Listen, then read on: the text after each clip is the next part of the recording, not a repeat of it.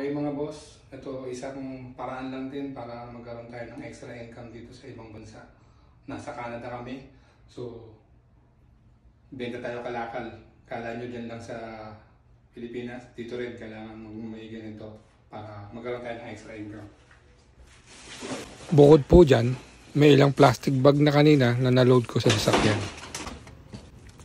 Hakutin na lang po natin itong mga natitira para madala natin doon sa bentahan.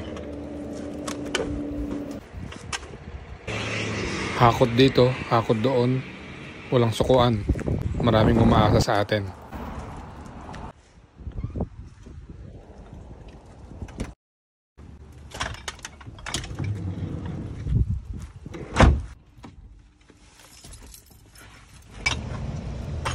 Ayan, nandito na po kami sa Sarkan.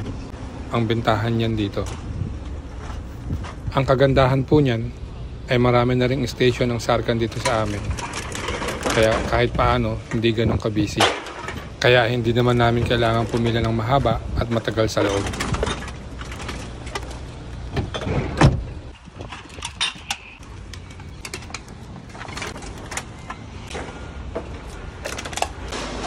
Ngayon, ang ginagawa po ng mga empleyado dyan ay sinusort nila at binibilang by its sizes, looking by its ml or by its liter.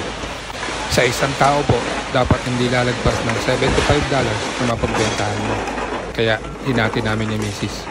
Ayan yung sa kanya, $52.45.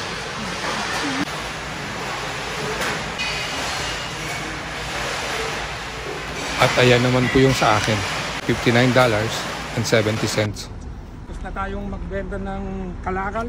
For today, naka 112.15 tayo. Sa taon na to, ay, uh, I think pang apat na beses na namin itong nagbenta. Amin ba lahat yon sa loob sa apat na pagbenta? Hindi. Ngayon, tatanong kayo kung bakit marami kaming naiipon. Abangan sa ibang video namin. At ayan, dahil nakagawa tayo ng pera, dumiretso na kami sa grocery. Sa lahat ng binili namin, nagdagdag lang kami ng $22 kasi yung bigas pa lang 49 na. Maraming salamat. Hanggang sa muli po mga boss.